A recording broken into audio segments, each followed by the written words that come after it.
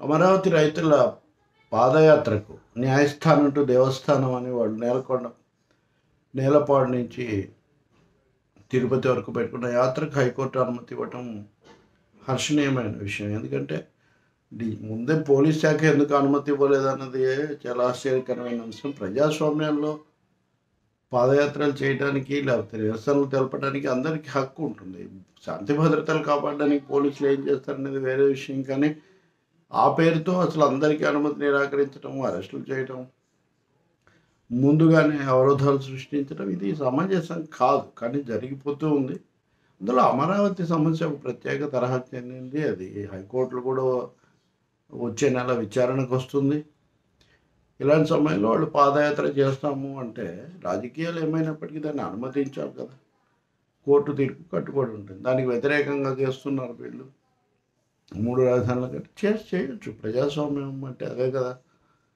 కాబట్టి ప్రభుత్వానికి తీవ్రమైన దెబ్బ ఇలాంటి వాటి నుంచి గుణపాఠాలు కూడా నేర్చుకోవాలి. ఇప్పుడు పట్టాభి టీడీపీ నాయకుడు ఆయన మాట్లాడింది బాగాలేదు అని అందరూ అన్నప్పటికీ ఆయన అరెస్ట్ చేసిన పోలీసుల మీద ప్రభుత్వమే చర్య తీసుకోవాల్సి వచ్చింది.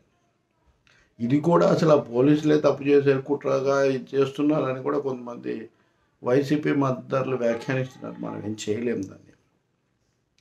పోలీస్ శాఖ తరఫున వచ్చిన ఉత్తర్వులు లేకపోతే అధికార ఉత్తర్వులు కోర్టులో కోర్టుల్లో న్యాయ విభాగం చేస్తున్న వాదనలు ఇవన్నీ కూడా అనేక సార్లు వీగిపోతున్నాయి. ఎందుకు? ఒకటి వాళ్ళకు ఒత్తిడి బాగా ఎక్కువైపోతుంది. అచ్చంగా అదే పనిలో వాళ్ళని అట్టి పెట్టడం ఏదో ఒక దాంట్లో ఇరికించడం వలన అవి కోర్టుల్లో వీగిపోతున్నాయి. దానికోసం కోర్టులు కూడా అన్నారు. అది పెడిచి కొట్టిన అది అది ఒకటి నడుస్తూ ఉంది. ఈ పూర్వరంగంలో చూస్తే అమరావతి పాదయాత్రను అడ్డుకోవాలని ప్రయత్నించటం అనుమతి నిరాకరించటం సమంజసం కాదు. ఇప్పుడు హైకోర్టు షరతులతో అనుమతి ఇచ్చింది. పెద్ద మైక్ వాడకూడదు బహిరంగ సభలు పెట్టకూడదు. ఇట్లాంటివి కొన్ని రెచ్చగొట్టే ప్రసంగాలు చేయకూడదు. ఇవి వాళ్ళు కూడా మేము నేషనల్ హైవే వెంటే పోతాం కానీ ఊళ్ళలోకి పోమన్నారు.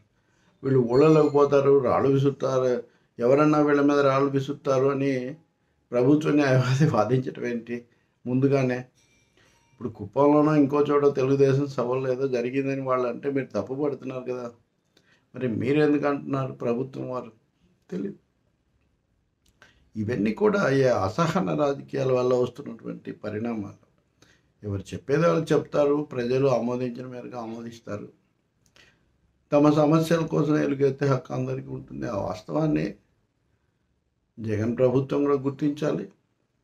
అలాగే ఇన్నిసార్లు న్యాయస్థానాల్లో ఎదురు దెబ్బలు తగలడానికి కారణం ఏంటి అన్నది కూడా ఒకసారి కానీ సమీక్ష చేసుకోవాలి. అంటే ఒకటి మౌలికంగా అసలు తీసుకున్న నిర్ణయాల్లో ఉన్న తప్పు వాటిని అమలు చేయటంలో ఉన్న పొరపాట్లు కూడా సరిదిద్దుకోవాలి. అంతేకాని ఎదురుదాడి ఒక్కటే అన్నిటికీ పరిష్కారం కాదు.